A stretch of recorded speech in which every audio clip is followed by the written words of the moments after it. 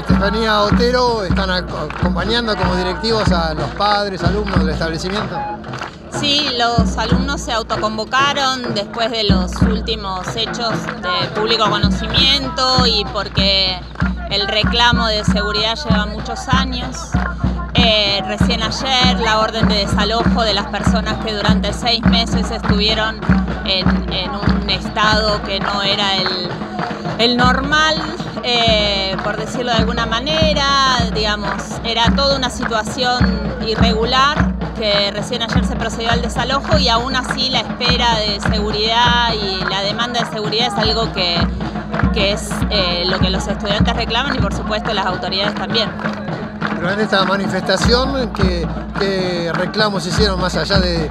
generalizado de seguridad?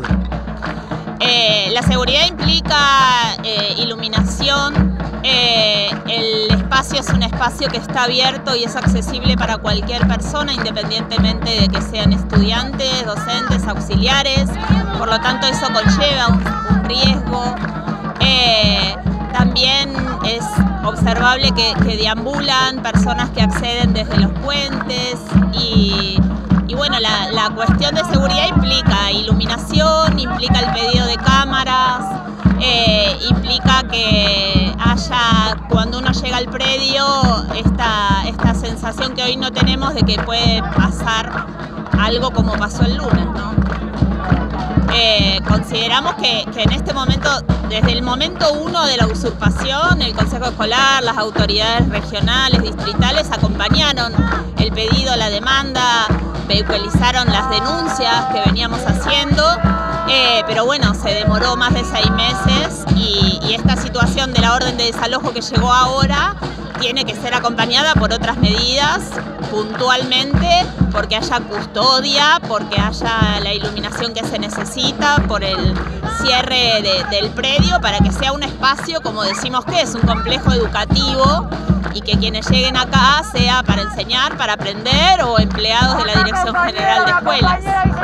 Muchas gracias.